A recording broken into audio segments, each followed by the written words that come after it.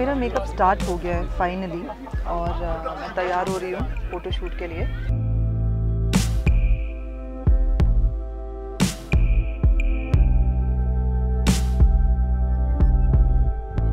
मैं यहाँ इनके साथ शूट कर रही हूँ। ये पूरा सिल्क पेस्ट है और सिमिलर साड़ीज़ होंगी।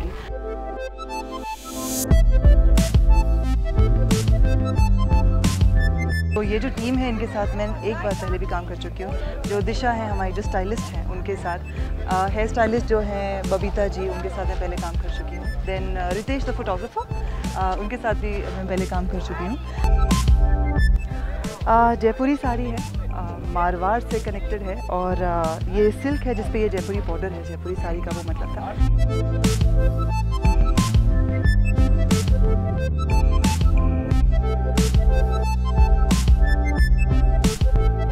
तो ये जो साड़ी है, ये गोल्डन कलर है और बहुत ही प्यारा कलर है। ये बेज है actually it's not gold gold beige golden beige I am so confuse right now because ये बहुत ही सुंदर रंग है और मैंने अभी अभी इसमें शूट किया है। It feels very good because ये सिल्क है and such a light material and it looks so classy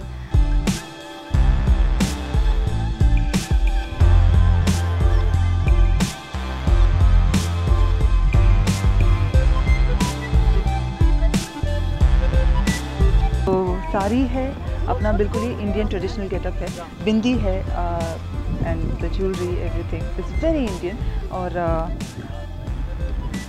चाहती थी कि uh, इन इसी रंग में अपने आसपास के लोगों को भी रंग लिया जाए और मुझे बहुत लोग मिले।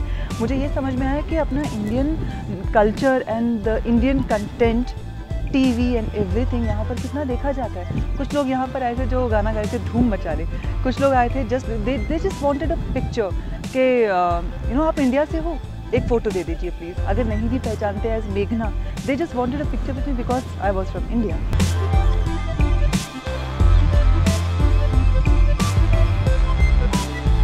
thank you I W M buzz और उनकी पूरी team.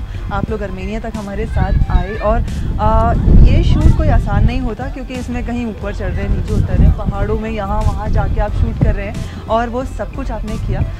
So thank you so much I am sure आपके इतने सारी मेहनत से I too look very pretty so thank you